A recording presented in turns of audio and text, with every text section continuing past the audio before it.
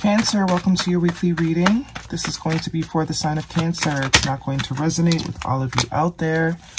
This is also not Sun, Lunar, Venus sign specific.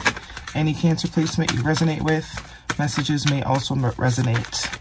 Personal reading information, any jewelry seen, all linked and listed. At the end, we'll pull oracles, give you a little bit more guidance for the week. Otherwise, Cancer, let's go. Looking good. Six of Swords, the Fool card, Major Arcana, and the Three of Pentacles. So far, there is something that you're moving towards, moving on to. Um, whatever it is you're moving away from, whether it's just a reality or a person. Yeah, definitely a mindset, a reality, uh, a paradigm. You're leaving any sort of um, stuckness behind. There is something that you are absolutely ready to leap towards here with the Fool card, something new, some sort of new adventure. I'm also hearing head over heels. Could be with the Capricorn. Devil card, Major Arcana for Capricorn. One more card for Cancer, please. Some of you might be leaping towards the Capricorn quite literally. And we also have the Three of Pentacles. Let's see, one more card for Cancer, please. Let's get the whole story. But whatever it is you're walking away from, it's absolutely worth walking away from because it did nothing but keep you in your head. Last card is the Death card, Scorpio energy. And Virgo, Hermit energy at the bottom of the deck. Yeah, there's some sort of isolation that you are really getting ready to leave. You've been trapped in your head for a while. Or this could be someone that you're dealing with if this is not your energy. But with the Eight of Swords, Six of Swords here in your past position, you are definitely leaving any sort of overthinking, stuck in the head, non-movement, the illusion of non-movement. You're just kind of over that. You're ready to get things moving.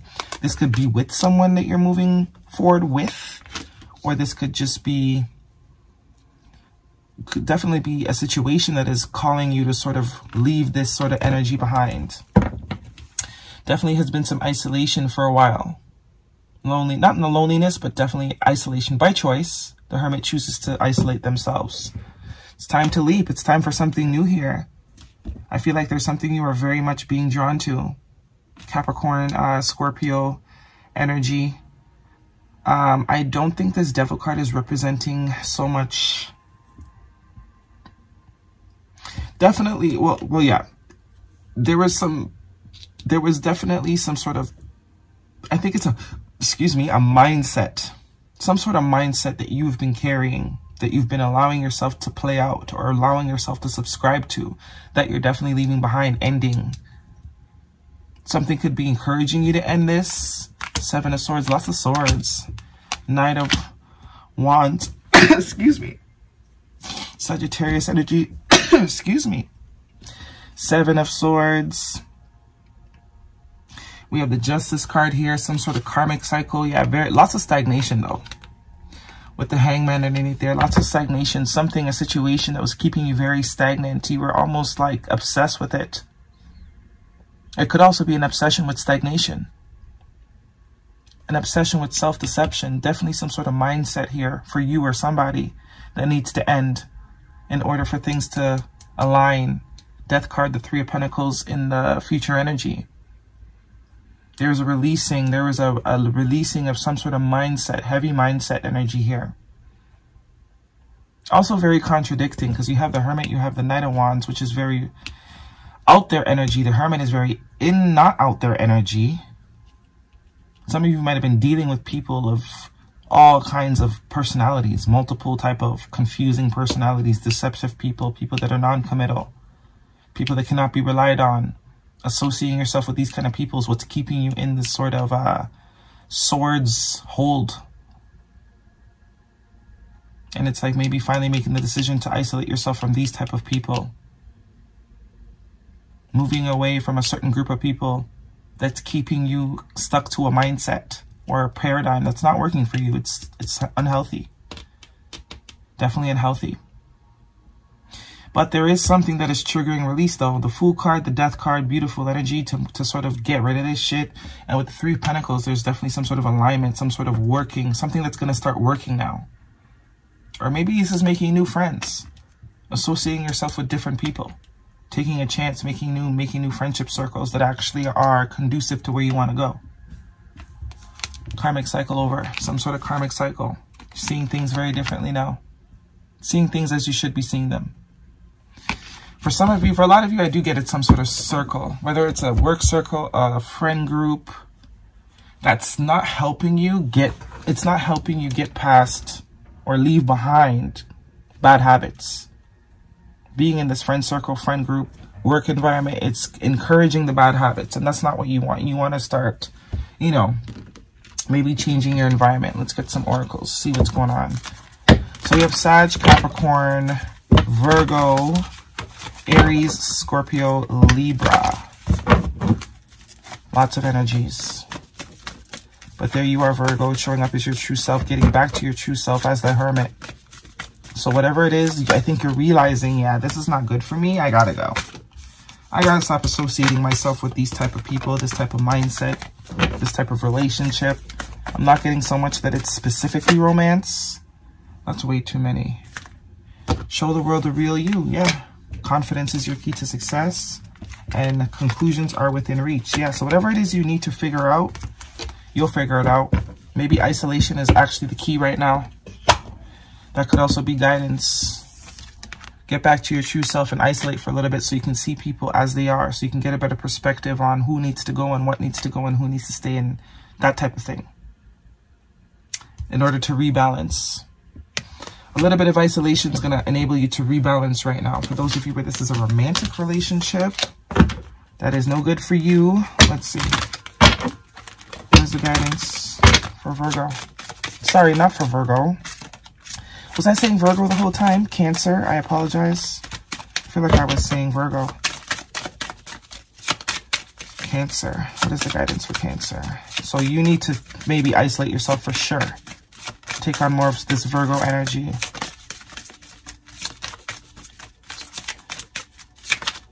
Guidance for Cancer, please.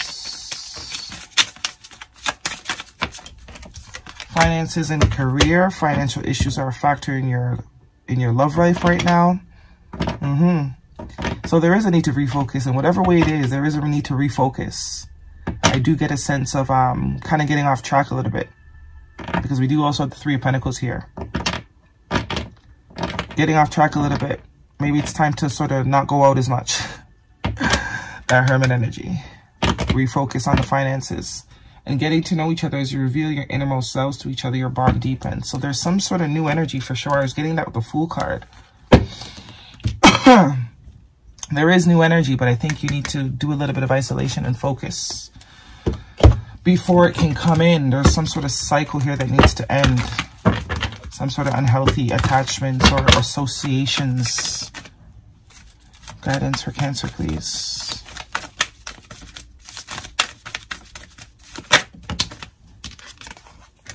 Ego Spirit. Spirit has your back. Number 23, which is a 5, which is indicative of change. Some shit needs to change. Change needs to happen. Is that the only 5? Yeah. So there's some sort of guidance, too, that is that you're maybe not getting because there's not enough me time. There's not enough me time to hear the to hear the messages, to hear what it is you need to find, to hear what it is you need to know, to get the conclusions full moon eclipse. Lots of full moon energy here. Something could be happening around a full moon. All right, let's get one of these for Cancer.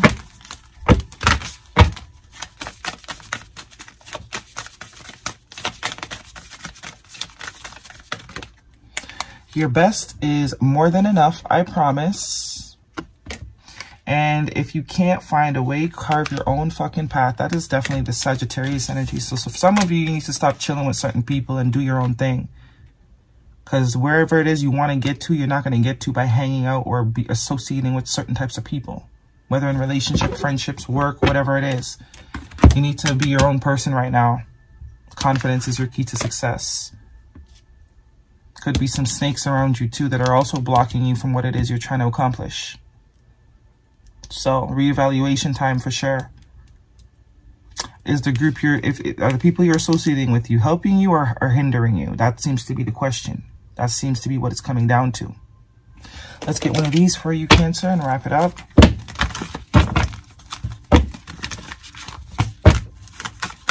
Cancer. Time to change, make some changes ride solo for a little bit. Don't be afraid to be solo. That could also be with that confidence is your key to success. And we also have the wolf here, the lone wolf. So there's definitely something about uh, doing things on your own or keeping things to yourself. Don't dim to fit in. See? How are you dimming in order to fit in? Some sort of environment that you are in, in whatever capacity that is hindering you. They're keeping you in this old pattern, old paradigm, old reality, not allowing you to release karma or a karmic cycle. It's time to open the eyes. The only way the eyes can open is if you isolate or create some sort of space. And soul family, calling your tribe, you don't have to do it alone. So yes, more confirmation that it has to do with who you're hanging out with. You're not you're not with your true soul family yet. And you'll see it soon. You'll you'll realize that soon. And as soon as you release this old one, then you're able to go into the new one, the people that are actually going to encourage you to become your greatest and highest self. All right, Cancer, that's your reading. Hopefully it resonates with you. Thumbs me up. Leave me a comment. Don't forget to subscribe. See you guys next week.